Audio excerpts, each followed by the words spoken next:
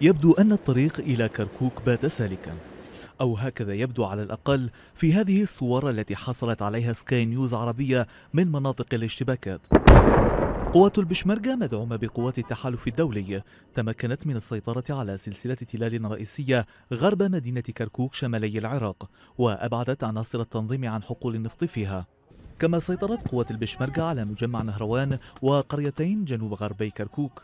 وسط انهيار في معنويات عناصر التنظيم الذين بدأوا بالهروب من جميع محاور كركوك الجنوبية وتركوا قواعدهم ونقاطهم في القرى التي كانوا يسيطرون عليها باتجاه الحويجة والموصل.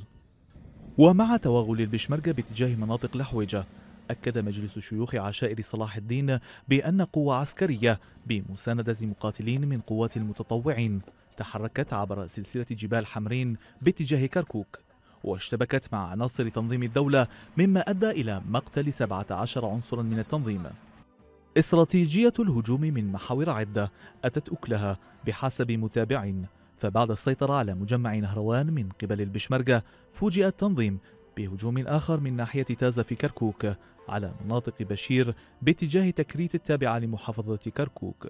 والله وفق ما التمسته وشفته وعشته يعني في هذه الساعات القليلة أعتقد الوضع جيد جدا ويبشر بخير وأعتقد بشرى نصر وتحرير تكريت ستكون قريبة جدا يمكن حتى خارج الحسابات والمتوقع.